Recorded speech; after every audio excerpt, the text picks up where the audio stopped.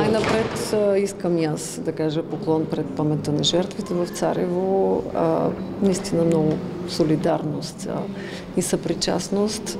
По отношение на ситуацията в Гърция и българите, които са там, в постоянен контакт сме с генералния консул, който от своя страна ежечасно ме уверява каква е ситуацията. Знаем, че тя е тежка, знаем, че има прекъснати пътища.